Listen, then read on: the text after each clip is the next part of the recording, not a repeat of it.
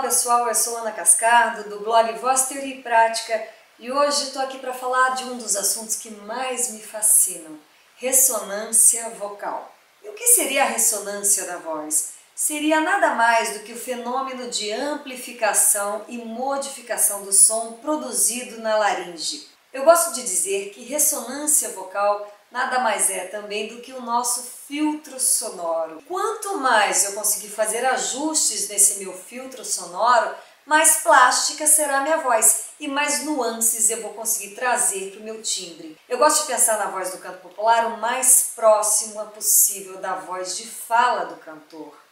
Então é importante observar se existem alguns excessos na voz de fala ou alguns excessos na voz de canto que podem ser trabalhados sim tecnicamente. No caso de excessos de nasalidade, muitas vezes eles podem ocorrer por problemas mais orgânicos. Então é bom investigar junto ao otorrino se existe algum desvio de septo, alguma polipose nasal, algum edema nasal em função de rinites alérgicas. E aí, é claro, trabalhar isso mais especificamente com um médico ou com medicação adequada e indicada. Mas no caso de excessos de nasalidade que ocorrem apenas por vícios de emissão, eu posso trabalhar tecnicamente, identificar esses excessos e dar maior consciência ao cantor para que ele possa usar essas nuances mais nasais ou mais orais ou mais faríngeas de acordo com a sua vontade e não uh, de uma forma inconsciente o que eu observo na minha prática é que muitas vezes o aluno de canto não tem consciência de como ele faz uso desse filtro sonoro.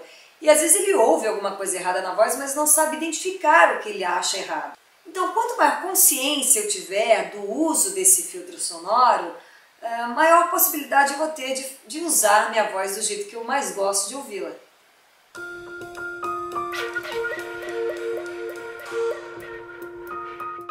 Didaticamente, eu gosto de pensar em três focos ressonantais distintos.